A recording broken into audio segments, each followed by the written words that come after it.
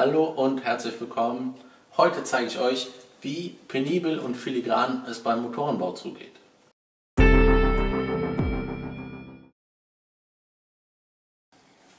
Hier habe ich so ein handelsübliches Haarschaftpleuel. Das Haarschaftpleuel ist auch schon bereits gelaufen. Man sieht hier der Verschleiß im Pleulager. Ziemlich klopfende Verbrennung gewesen. Die Druckseite hat ganz schön Verschleiß abbekommen. Unten geht es einigermaßen.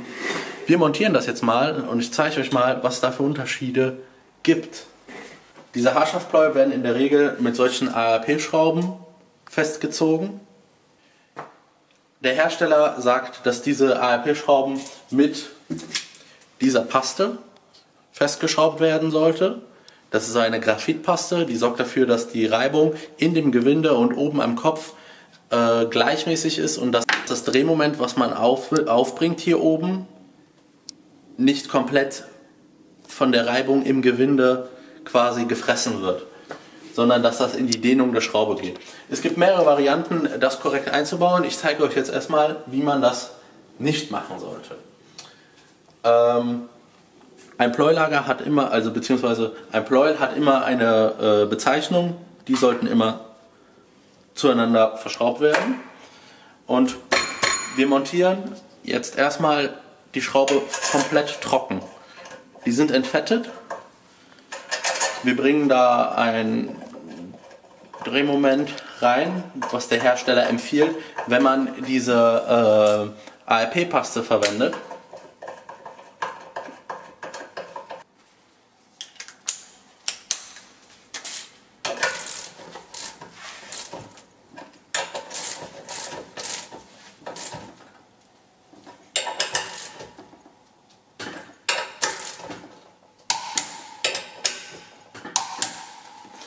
So, jetzt äh, kalibrieren wir kurz unsere Messuhr.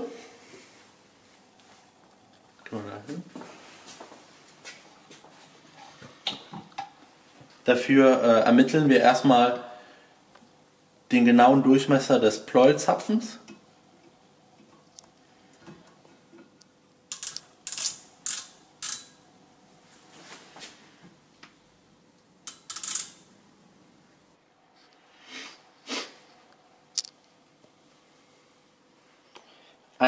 51,994 mm.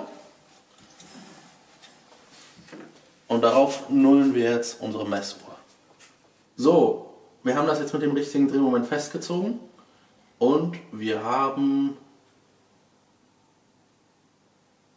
zwischen 5 und 6 Hundertstel Pleulagerspiel. Aktuell.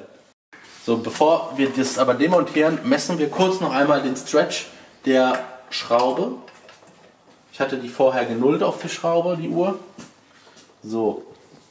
Und den Stretch, den wir aktuell hier haben, sind Moment 1, 2, 3, 0,004 Inch. Das sind circa 1 Hundertstel Millimeter. Das heißt also, die Schraube hat sich beim Festziehen um 1 Hundertstel Millimeter gelenkt.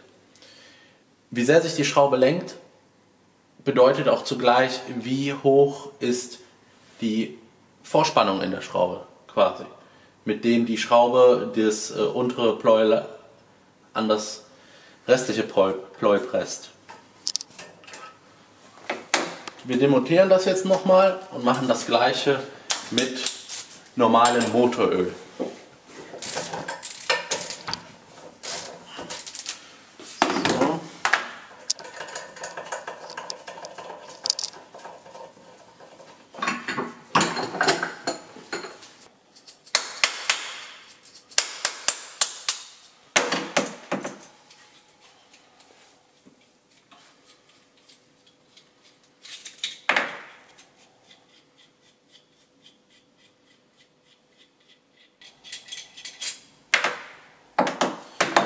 So, das ist ganz normales 20 wie 60 300 V von Motulöl.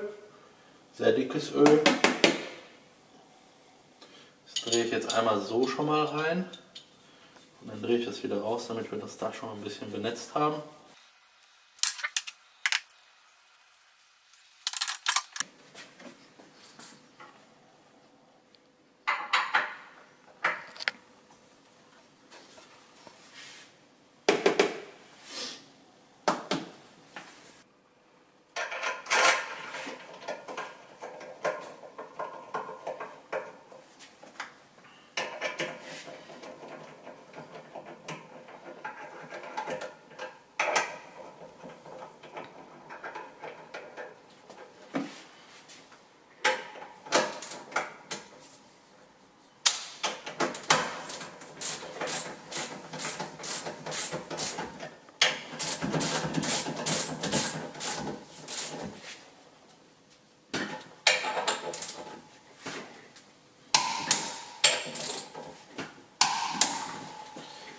Nun die Messung mit Öl. Ja, jetzt haben wir knappe 500 mm Pleuelagerspiel. Schauen wir mal, wie der Stretch der Schraube ist. Ja, wir haben jetzt 0,0005 Inch Dehnung der Schraube. Also ein bisschen mehr wie ohne. Das machen wir jetzt mal mit der ARP-Paste, dieser Graphitpaste.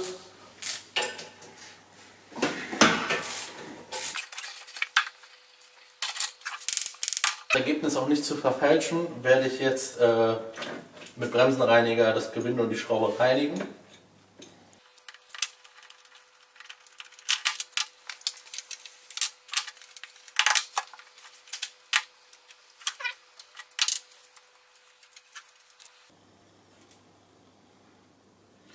Trage das immer so ein bisschen auf das Gewinde auf und dann drehe ich zwei Schrauben die ganze Zeit so im Kreis, bis sich das da in die Rillen einsetzt.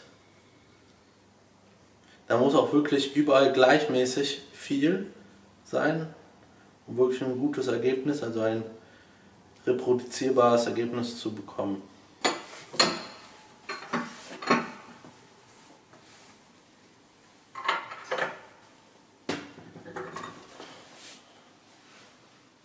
Beim Eindrehen der Schraube, da, da gut was drauf ist, bleibt auch immer was hier oben hängen. Das ist gut, soll nicht zu viel sein, damit wir auch eine Reibungsminderung haben hier oben im Bereich, wo der Schraubenkopf auf dem Pleuel auch liegt.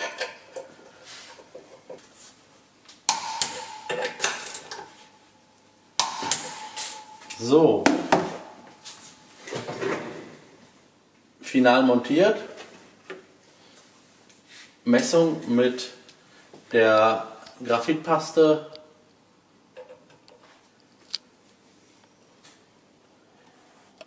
und was sehen wir?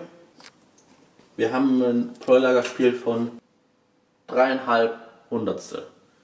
Das ist einwandfrei, wunderbar. Ich wollte euch nur mal zeigen, was da für Unterschiede gibt. Wir messen jetzt nochmal den Stretch der Schraube. Dabei ist jetzt wichtig, dass wir da unten die Schraube von der Paste befreien, weil wir sonst Messfehler haben.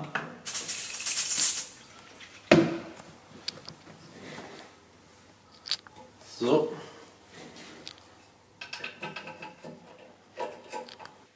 So, und jetzt sehen wir, dass die Dehnung der Schraube sich auf 0,0006 Inch äh, erhöht hat. Das ist auch der Hersteller-Sollwert, denn ähm, ARP hat, äh, oder die Pleuel-Hersteller geben immer so ein Beiblatt zu, wo der Stretch aufgelistet ist, wie, so, äh, wie hoch der Stretch ist. Denn dieser Stretch ist sehr wichtig, denn äh, die Schraube hat ja diverse Reserven, bis sie reißt oder bricht.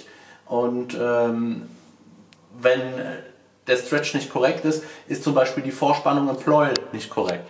Und wenn der, die Vorspannung im Pleuel nicht korrekt ist, äh, kann es schneller sein, dass zum Beispiel äh, es nachgibt und wir somit auch schneller einen Pleulagerschaden bekommen, weil das macht das Pleulagerspiel eben nicht eingehalten wird.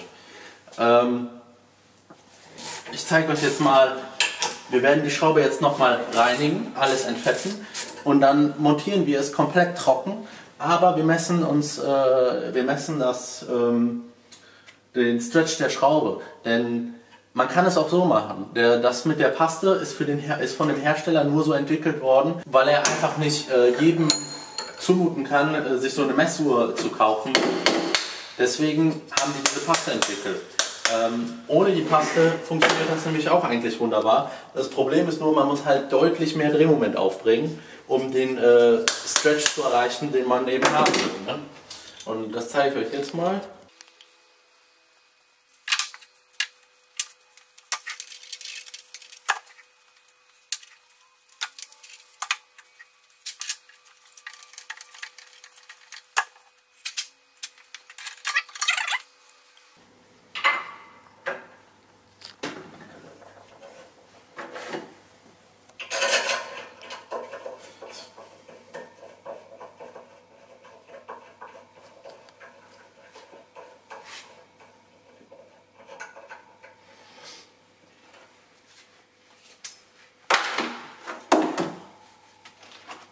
Nullen wir jetzt noch einmal ganz genau die Messung auf die Schraube. Denn diese Schrauben haben tatsächlich Abweichungen in der Produktion. Ich glaube, wir haben eben die andere Schraube gemessen. Also seht hier, die ist jetzt genullt. Und wenn ich jetzt die andere Seite messe, sieht ihr jetzt leider nicht. Ihr müsst mir jetzt einfach vertrauen. Ja, da bin ich jetzt äh, circa 0,0002 mm unter dieser Nullung. Inch, sorry, nicht Millimeter. So, die ist genullt. Perfekt. Dann tasten wir uns jetzt mal schrittweise ran. Wir beginnen hier mal mit knappe 60 Newtonmeter.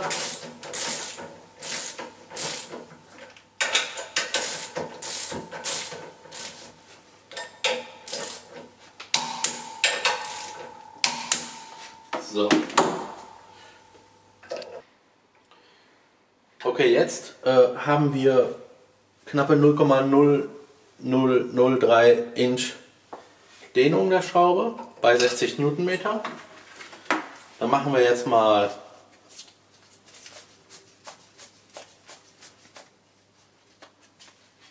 achtzig Newtonmeter.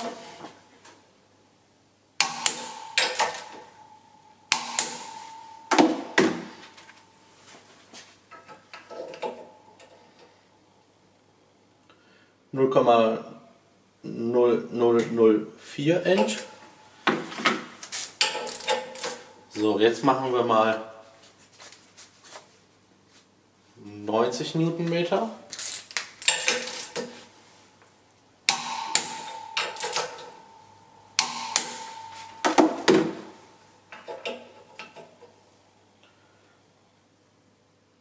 Ja, 0,00045. Wir tasten uns langsam ran. Wir machen jetzt einfach mal 100. 5.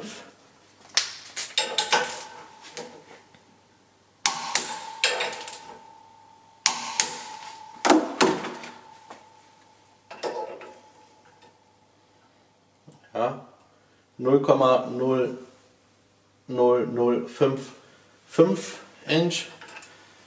Ich denke jetzt nochmal circa 5 oder sagen wir mal, wir machen jetzt mal 116, 117 Newtonmeter.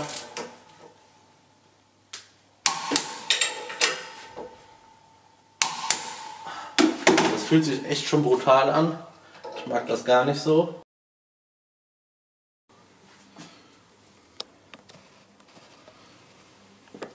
Okay, ja, und jetzt haben wir das Ergebnis mit 117 Newtonmeter, was wir vorher mit der Paste bei 88 Newtonmeter erreicht hatten. Ähm, das Pleuelagerspiel müsste jetzt eigentlich auch korrekt sein, da die Vorspannung korrekt ist. Ja, es ist bei 0,0035. Ich bin jetzt schon in der Zollgröße bei äh, 3,5 Hundertstel. Ganz einfach.